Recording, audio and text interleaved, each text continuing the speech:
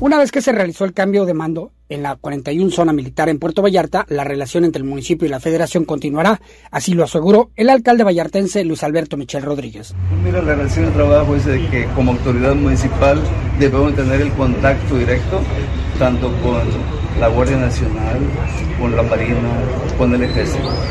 El municipio debe tener esa relación, ese contacto directo con las autoridades. Y es que a decir del alcalde Michel Rodríguez, Puerto Vallarta sigue siendo un municipio seguro y cada uno de los órdenes de gobierno hacen lo propio para mantener a este destino turístico entre los lugares más seguros del país.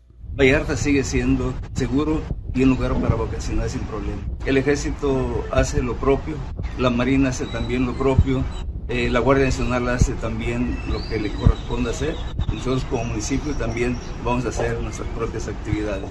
El lunes se llevó a cabo el cambio de mando en la 41 zona militar con la llegada del general de brigada diplomado Estado Mayor Sergio Ángel Sánchez García, quien llegó en sustitución del general Vicente Pérez López.